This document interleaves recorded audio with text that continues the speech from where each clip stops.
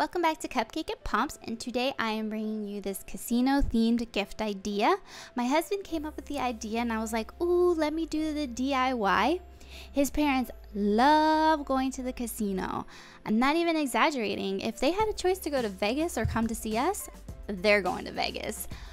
I thought this was a great gift idea I first I wanted to put the slot machine on the top of the box, but when they opened the big shipping box, I didn't want them to know right away what it was. So I was like, this is perfect. When they open it on the inside is where I will put the slot machine.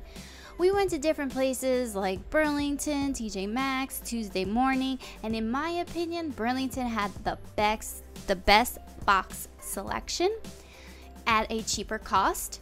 So we went ahead and grabbed this one, of course, and a bunch of other little boxes that I will go into more detail later on in the video to tell you exactly what was put in each box and the little rhymes that we came up with. Each box is a prize, so when they get to the final prize, it will of course be money. So go ahead and stay tuned so you can see how we put this all together. All the items that you will see are either from the Dollar Tree, Joann's, Michael's. I was going everywhere to find the different items that I wanted. So again, I will go ahead and explain everything more in detail when I'm putting the boxes together and saying this is where I got it from so that way you know and if you want to go and pick them up. But most of the stuff like Joann's and Michael's, they kind of sell kind of the similar things, but you know, sometimes one store has better sales than the other. So guys, let's go ahead and get started. The end result is amazing. This gift was such a huge hit. His parents thought it was so thoughtful and creative and they loved it. There was tears, guys. There was tears.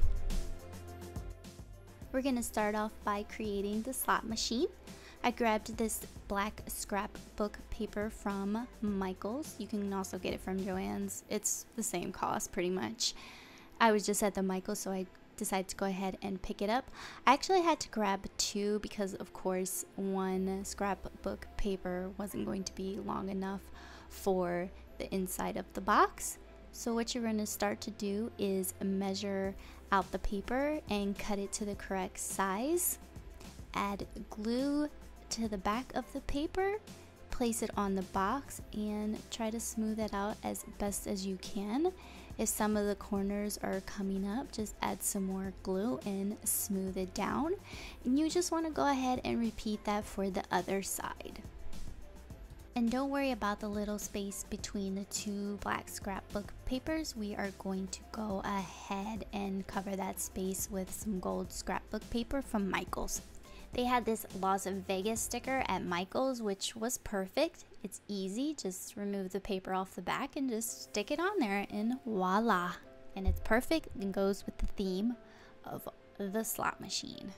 I wanted to go ahead and stick with the gold theme of the box. That's why I chose the gold scrap scrapbook paper and the gold letters. I wanted to go ahead and personalize it a little bit more and put their last name on their slot machine.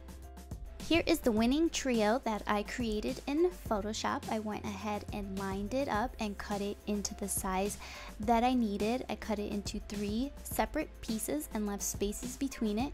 And then I also had to straighten out the casino stickers.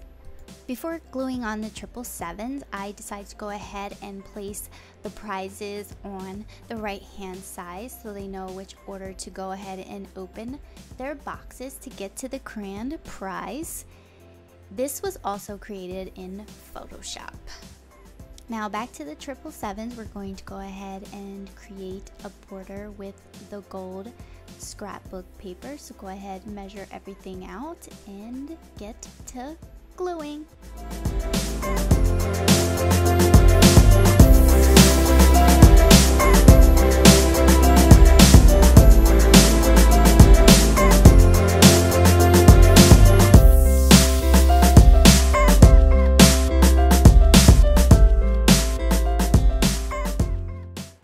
I saw this SD card holder just laying around and I knew it would be the perfect size to make the buttons. So I just placed it on top of this red scrapbook paper that I got from Michaels as well. And I just went ahead and traced all around it. I wanted the letters to be black, so I grabbed my black vinyl paper, loaded up my silhouette program, selected a font, created the words, sent it to the Cameo.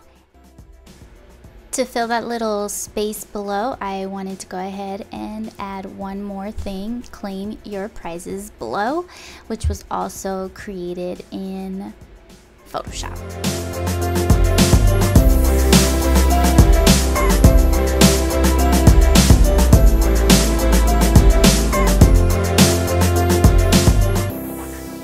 In order for them to know which was box one or two, I needed numbers for the boxes and I wanted big numbers. Joann's or Michael's didn't have the size that I wanted, so I just went ahead and created them on my Cameo.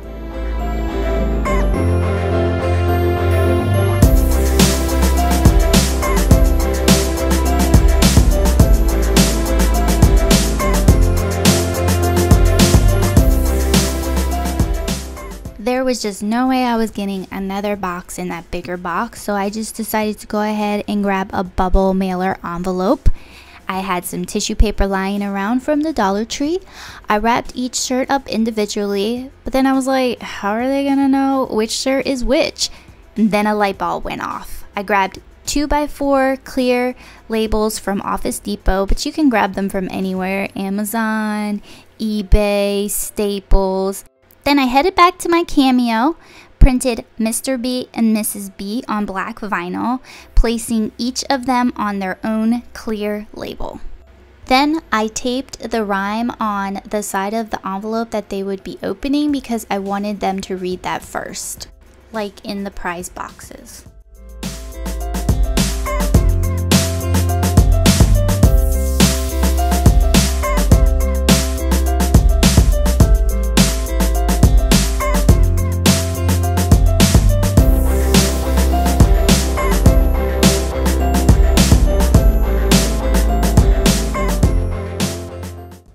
Using extra gold letters, I decided to put to dad and mom on the top of the box, and the box wouldn't close all the way, so I just decided to add some Velcro, ensuring the box will stay closed and secure for shipping. Thanks so much for watching. Until next time, bye.